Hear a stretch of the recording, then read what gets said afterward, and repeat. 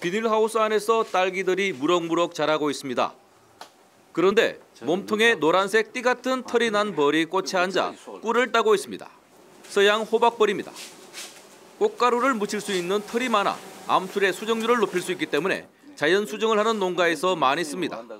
호박벌은 온도 범위가 저온이나 자- 고온에도 잘 활동을 하고 있고요. 그다음에 호박벌 자체가 그 열심히 수정을 많이 합니다.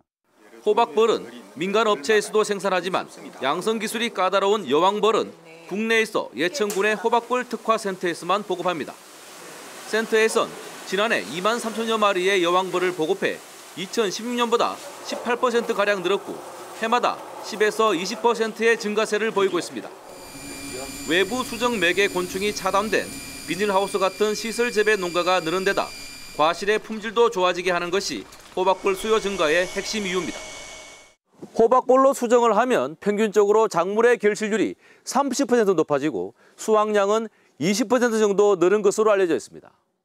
앞으로 생태 교란에 문제가 없는 토종 호박벌 인공 증식 기술과 우량 여왕벌 개발에 힘쓰도록 하겠습니다. 2014년 농촌진흥청과 함께 개발에 성공한 정부 장려 품종 1호 꿀벌인 장원벌 보급도 갈수록 늘어 최근 농촌진흥청의 신기술 확산 부문 대상을 받았습니다.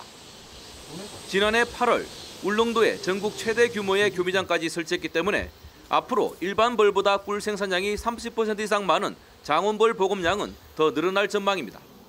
TBC 양변입니다.